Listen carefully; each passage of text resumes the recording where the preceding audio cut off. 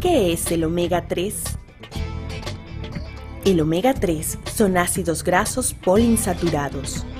Nuestro organismo es incapaz de sintetizarlo, por lo tanto, debemos obtenerlo de los alimentos como el pescado, preferiblemente azules, como es el caso del bocarte, bonita, caballa, salmón y sardina.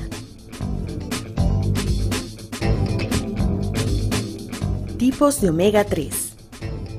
El ácido alfa-linolénico. Es un ácido graso poliinsaturado esencial de la serie omega 3.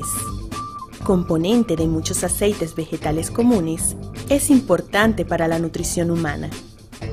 El ácido eicosapentanoico se utiliza como fármaco para el tratamiento de algunas formas de hiperlipidemias. El ácido docosahexaenoico es un ácido graso vital para el desarrollo y mantenimiento óptimo de la salud. Se encuentra en el aceite de los peces, aunque también se comercializa en el aceite de algas unicelulares. Beneficios. La ingestión de alimentos ricos en ácido linolénico o complementos que contengan este principio rebaja los triglicéridos, disminuye el colesterol, previene la formación de coágulos en las arterias y disminuye levemente la presión arterial. Los alimentos o complementos ricos en este componente protegen contra la aparición del cáncer de colon, próstata y de mama. Además, pueden reducir el tamaño de los tumores al impedir el crecimiento de las células cancerosas.